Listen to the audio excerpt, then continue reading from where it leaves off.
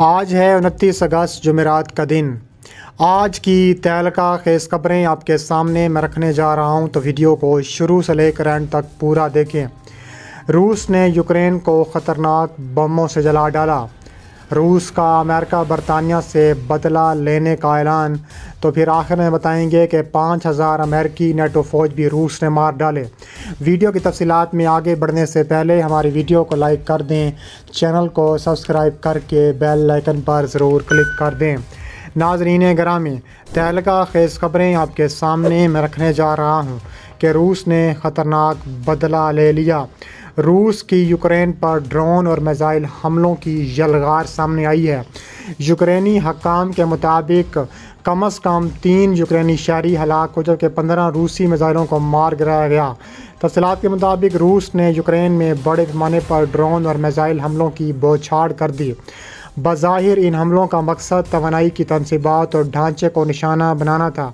इन हमलों में कम अज़ कम तीन अफराद के हलाक होने की इतला है। ये हमला इतवार को निस शब के करीब शुरू हुआ और पीर को दिन चढ़ने के बाद जारी रहा। इरे यूस यूक्रेन के ख़िलाफ़ हालिया हफ्तों में सबसे बड़ा हमला था।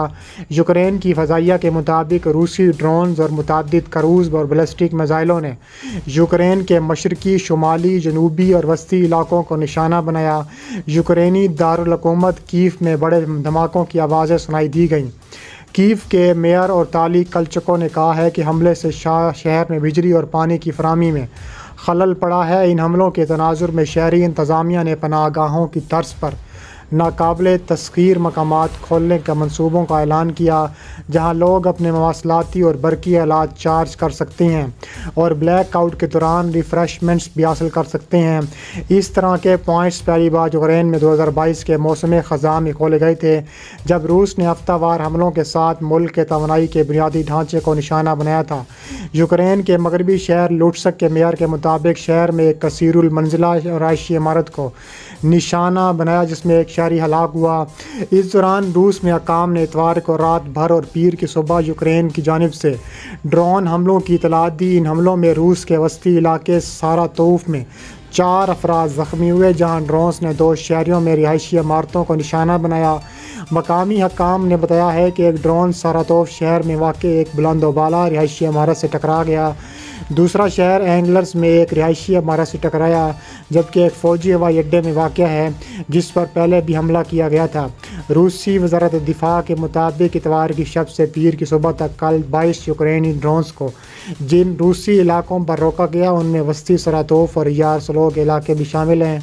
इसके अलावा, मज़ीद कहा जा रहा है कि रूस पर ताबड़तोड़ कार्रवाइयाँ जारी हैं। रूस ने यूक्रेन पर सौ मिज़ाइल दागे और अमेरिकी सदर का मुँह तोड़ जवाब देने का फैसला सामने आ चुका है। तफसीत के मुताबिक रूस ने भी यूक्रेन के सौ से ज़्यादा ड्रोन तबाह कर दिए। यूक्रेन ने जवाबी हमला करते हुए रूस पर सौ मिसाइलों से बारिश कर दी।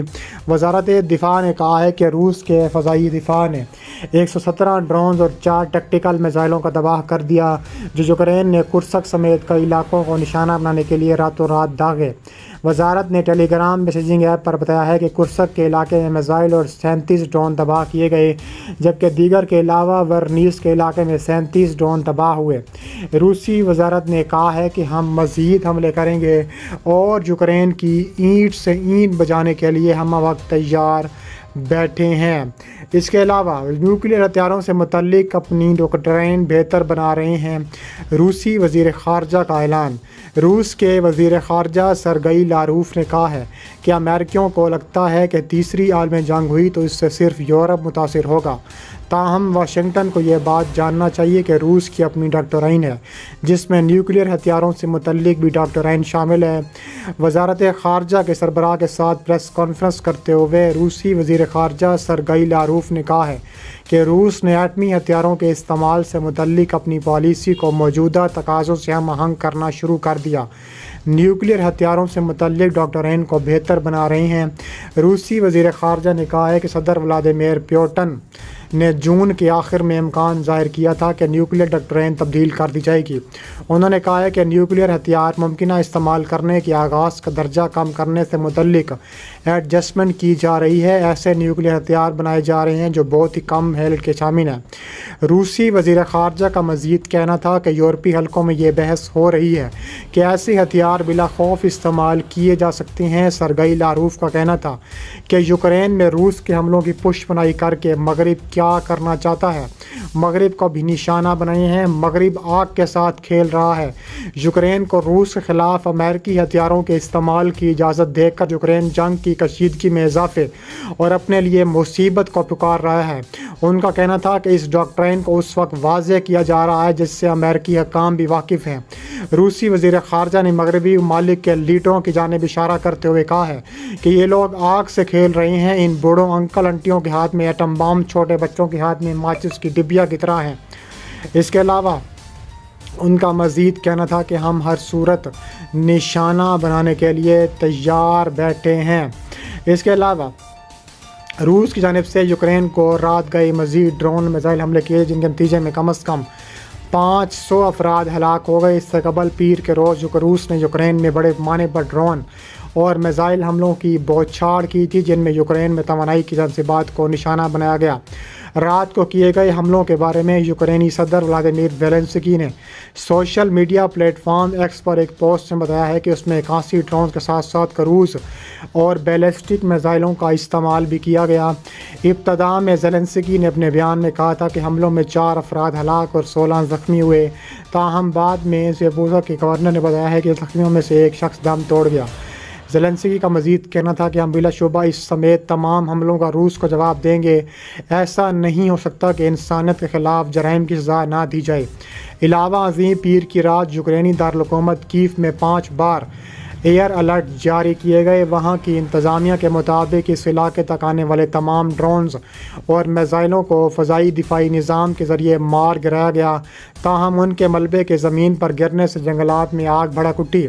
पीर के रोज़ यूक्रेन में सौ से ज़्यादा मिज़ाइल हमलों के बाद वज़ी अजम डेंस शमाल ने यूक्रेन के इतिहादियों पर लंबे फासले तक मार करने वाले मिज़ाइलों की फरहमी के लिए ज़ोर देते हुए कहा था कि इन हथियारों को रूस में अहदाफ के ख़िलाफ़ इस्तेमाल करने की इजाज़त दी जाए।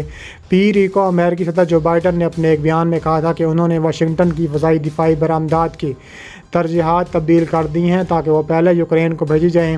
दूसरी जानब रूस की दिफा वजारत दिफा ने एक बयान में कहा है कि पीर के रोज़ तोानाई की इंतबात को निशाना बनाया गया, जिनके ज़रिए यूक्रेन के फ़ौजी सनती कम्प्लेक्स को चलाने के लिए मदद फ्राहम की जाती है।